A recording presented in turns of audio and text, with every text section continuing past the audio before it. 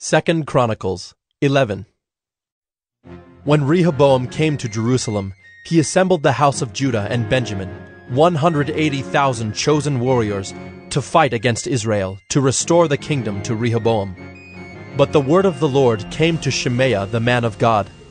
Say to Rehoboam the son of Solomon, king of Judah, and to all Israel in Judah and Benjamin, Thus says the Lord, You shall not go up or fight against your relatives.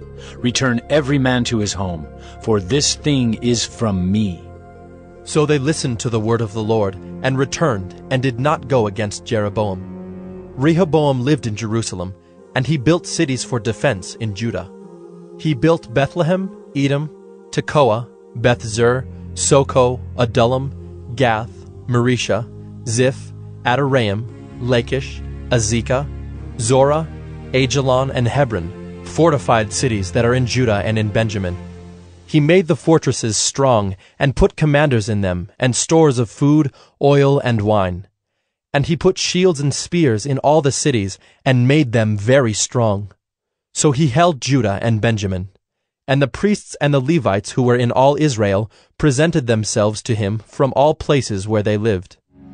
For the Levites left their common lands and their holdings, and came to Judah and Jerusalem, because Jeroboam and his sons cast them out from serving as priests of the Lord. And he appointed his own priests for the high places, and for the goat idols, and for the calves that he had made. And those who had set their hearts to seek the Lord God of Israel came after them from all the tribes of Israel to Jerusalem to sacrifice to the Lord, the God of their fathers. They strengthened the kingdom of Judah, and for three years they made Rehoboam the son of Solomon secure, for they walked for three years in the way of David and Solomon. Rehoboam took as wife Mahalath, the daughter of Jerimoth, the son of David, and of Abihail, the daughter of Eliab, the son of Jesse. And she bore him sons, Jeush, Shemariah, and Zaham. After her he took Maacah, the daughter of Absalom, who bore him Abijah, Attai, Ziza, and Shelomith. Rehoboam loved Maacah, the daughter of Absalom, above all his wives and concubines. He took eighteen wives and sixty concubines, and fathered twenty-eight sons and sixty daughters.